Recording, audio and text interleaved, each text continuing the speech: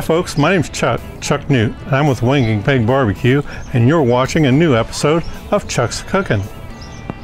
And tonight we are going to make meatloaf jambalaya, pork rib tip, collard greens, ham and beans, full slab spare ribs, and much more. So come on and follow along. All right, folks. Well, today we are going to smoke some uh, chicken. Actually, I've got some thighs and uh, chicken legs that I'm going to work on here. This is the last day, uh, last uh, weekend, I should say, of uh, September in 2018. And so we're moving on towards fall. And if you notice this tree back over here, over my shoulders, uh, you can see that the leaves are starting to turn and whatnot. So um, what I'm going to do, I'm going to take it over here. We're going to spice up some chicken and uh, get ready to put it on the smoker. A little, I'm going to use a little, uh, my old Brinkmann smoker today.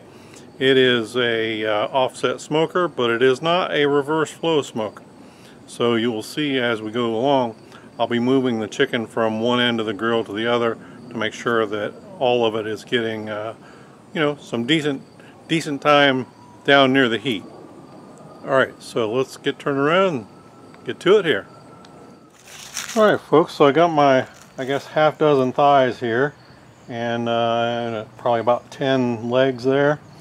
And first thing I'm going to do is kind of go through and dress these up a little bit. Kind of pull the skin back so it's covering. And you see I got one like that. And uh, I'm going to cut that off of there. Good sharp knife. And I got a cat over here on my right hand side. And I'm going to throw that skin over there to him and let him deal with it my neighbor's cat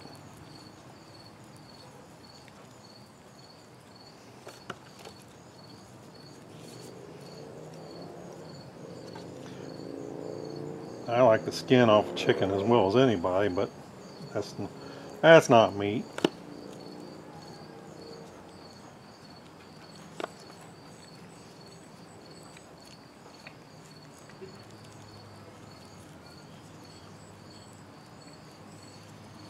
That doesn't look too terrible. That's four. And the last one, you see you got that big old hunk of skin there that Makes you wonder if uh, they're trying to throw you weight by throwing all that skin to you there like that. Actually, when I went to the restaurant supply store a little bit ago, I my intent was to buy a couple whole chickens, but they were out of whole chickens, so I didn't buy any.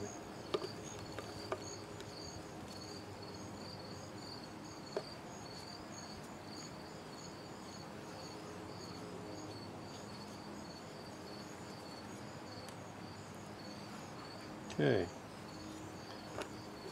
That's got them pretty well dressed up. Now if I was going to do competition I'd do a whole lot different than what I'm doing here. But good enough for today.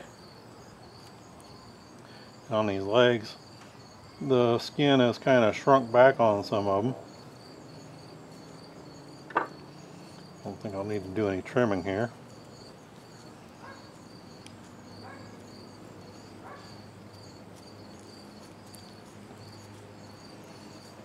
But I do like the skin to cover the meat.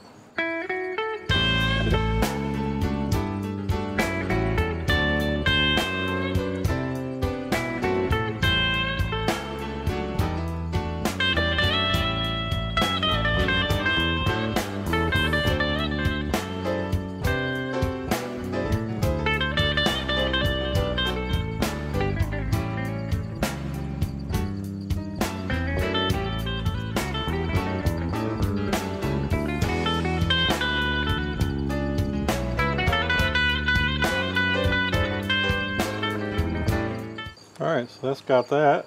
I'm going to take one glove off now. I'm going to break out this uh, GT South dry rub. I'll uh, leave a link down to their site down there in the bottom in the show notes. We're going to give it a pretty good liberal spice up here.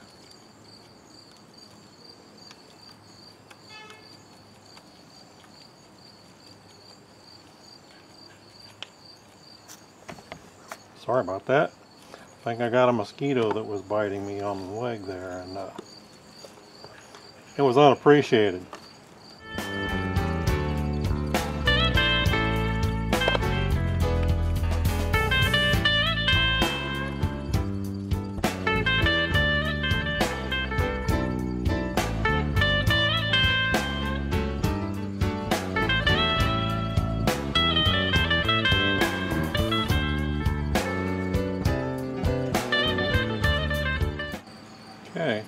Like we got a good hit with the rub.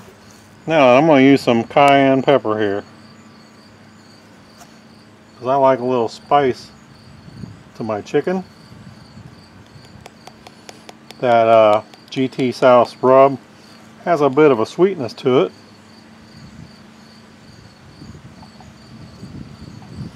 Which is fine for chicken.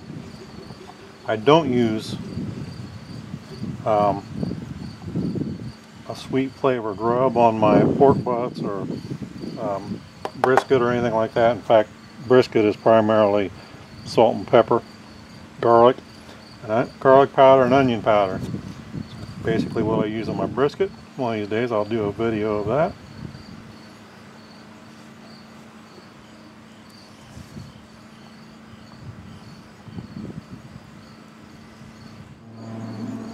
Do not wash your chicken.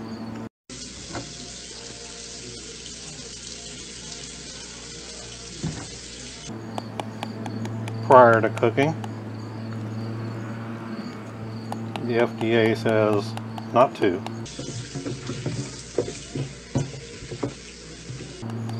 In fact, uh, if you go to one of these uh, places to get your food handling certification. And I got done washing the meat. Also one of the things that they teach you. You actually spread more germs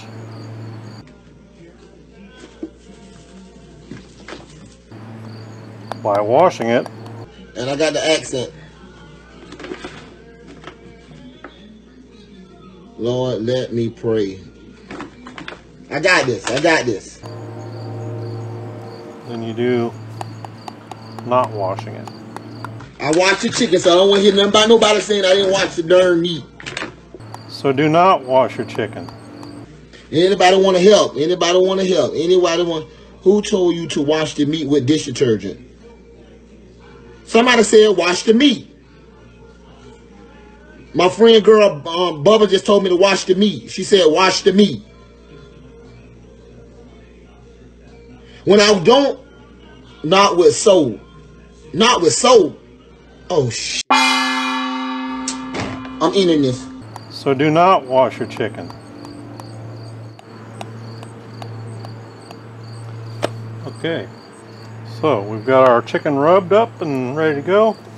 I'm gonna cover this up and uh, go over here to the smoker and get a good fire started. We'll be back shortly.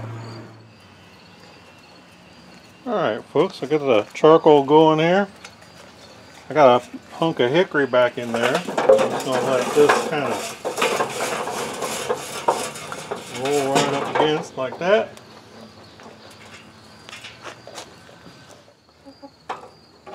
I guess the way the wind's going, I'm going to kind of eat the smoke today. Some days uh,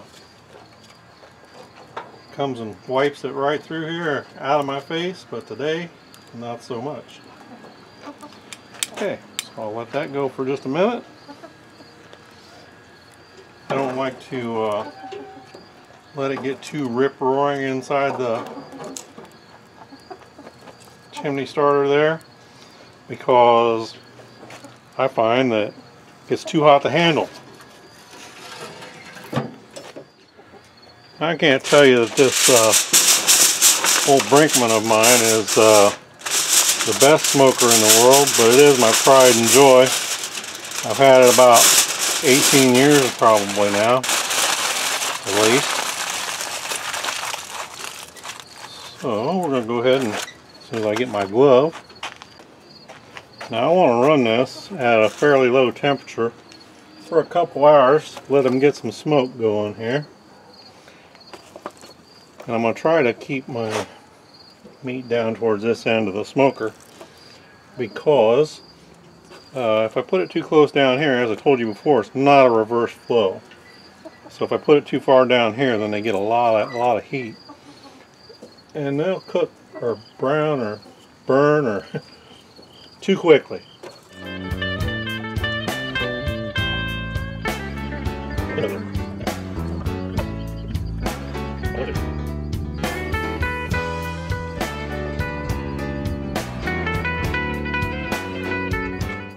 There we go. Now, like I said, I'm going to try to do this at a fairly low temperature.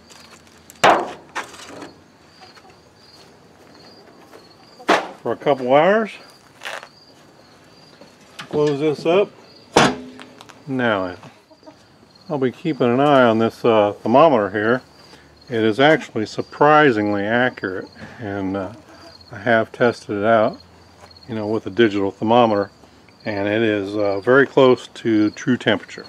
Okay, so my temperature has reached about the upper limit of where I want to see it right now, which is about 275. I want to try to keep it between 275 and 225. Um, so I have throttled back the air just a little bit on this thing. There you go, maybe if you can see the stack up here throttled the exhaust a little bit. I also throttled the intake a little bit.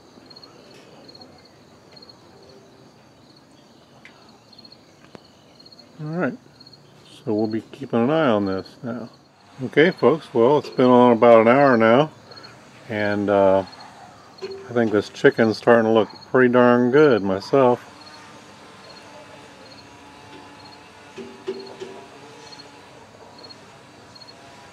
Okay, so I'm gonna back out of there, and uh, we're gonna come back at it about another hour and let you see where we're going. I can smell that cayenne in there. Okay, so these have been on about two hours now, maybe a little over, and I'm gonna start cranking up the heat and get these things finished off. We're running about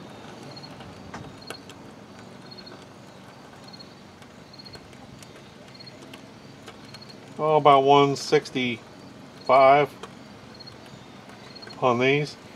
And I need to go up to about 185 so I'm going to crank these up to about crank the heat up to about 350 and uh, see if we can't get it there.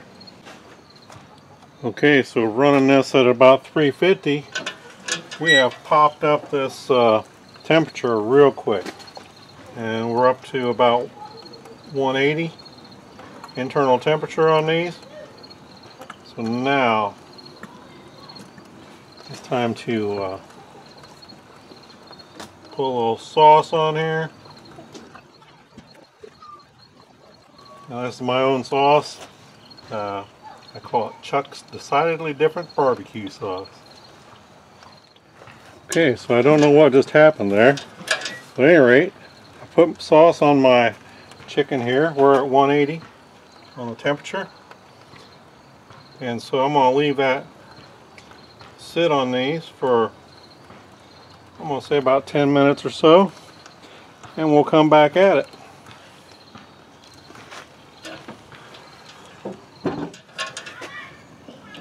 Ooh, that looks good.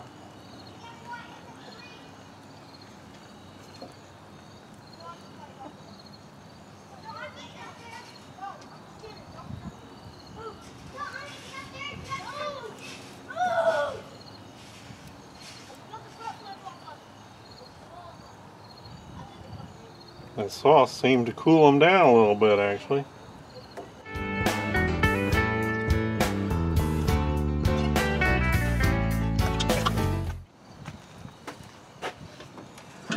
Alright, we can go ahead and get this uh, chicken off of here now.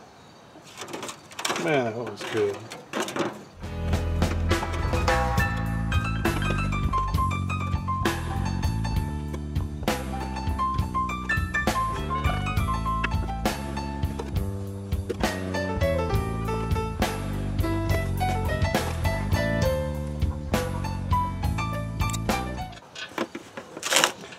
Folks, you know what time it is now.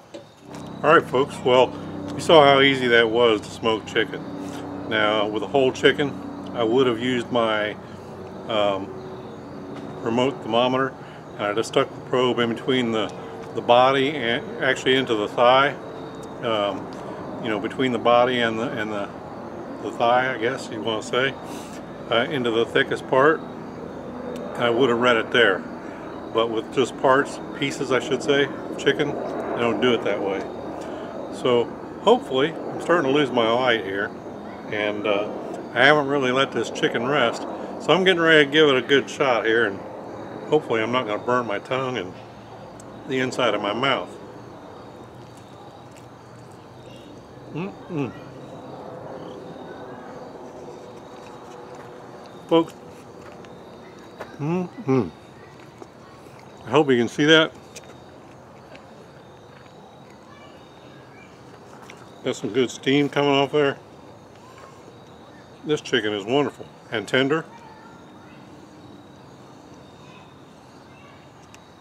Now then, kicking it up to 350 degrees right there at the end. That helps crispy up the chicken. Or I should say, it's crispy up the skin a little bit. That makes it so you can bite through it without trying to seem like you're trying to bite through a piece of rubber or something. If you don't crispy it up, it can be pretty tough. Doesn't mean it won't taste good, it's just going to give you a hard time to chew, chew through. So folks, I hope you enjoyed this video. Do me a favor, down here in the bottom right hand corner, hit like and subscribe. And stay tuned. There's always more to come. And thanks for watching.